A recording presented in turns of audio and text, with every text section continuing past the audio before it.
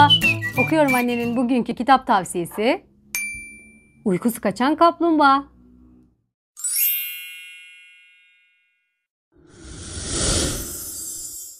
Uykusu kaçan kaplumbağa Masal Perest yayınları tarafından çıkarılmış çok tatlış bir öyküsü olan bir kitap.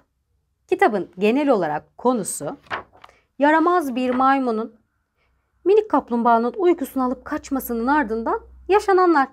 Peki içerik hakkında ayrıntılı bilgi verirsek ne deriz? Bir maymun, yaramaz bir maymun. Küçük kaplumbağanın uykusunu alır, kaçar. Küçük kaplumbağa ne yapsa da uyuyamaz. Annesinin aklına bir fikir gelir. Onu alır, ormanın en yaşlı ve bilgesinin yanına götürür. Bütün olanları anlatır. Bilge Baykuş küçük kaplumbağaya en tatlı rüyalar diyarına gitmesini söyler. Küçük kaplumbağa yola düşer ve baykuşun söylediği yere gelir. Orada en tatlı rüyalar diyarındaki Peri ile karşılaşır. Peri ona bir süt ikram eder ve o da bu sütü içince mışıl mışıl uyur. Ondan sonra ne zaman uyumak istese bir bardak süt imdadına yetişir.